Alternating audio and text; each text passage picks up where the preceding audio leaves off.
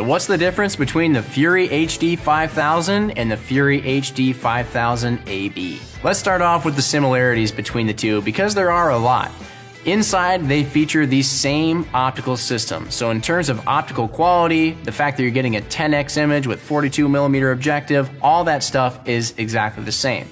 Also, the range finding mechanism and how powerful and accurate it is is the exact same as well, with 5,000 yards capability on reflective targets. All the ranging modes between these binoculars are exactly the same. The fact that they can give you angle compensation, measure in yards or meters, have illuminated displays, all that stuff is exactly the same. Now the real big difference comes into play with this guy here, the model with the AB designation on the end. And you can already see right off the bat, it's got a couple more buttons on this side than the regular model.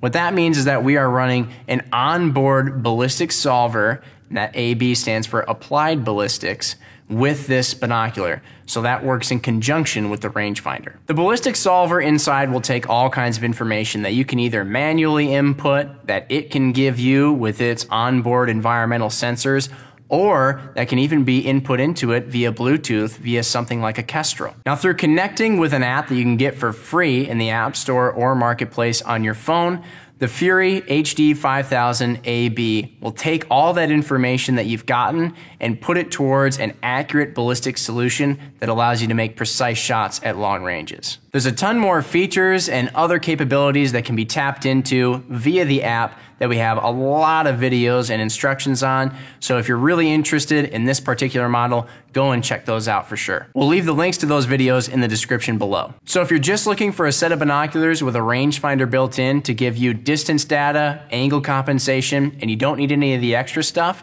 then go for the regular Fury HD 5000. But if the idea of a powerful integrated ballistic solution right inside your binocular, where with just a little bit of work, you can just fire out your range, and with one push of a button, receive back all the ballistics data that you need to execute a precision shot sounds interesting to you, then perhaps the Fury HD 5000 AB is the model for you to check out. Now, as we mentioned, there's so much more that we could go into, especially on the AB model with ballistics and integration and other things that it can connect to. So go and check out those other videos if that's the route you're thinking. But otherwise, we hope this video helped explain the differences between these two models and make your decision a little bit easier. If you have any other questions, please let us know in the comments below via social media, email, phone, or any other way that works best for you.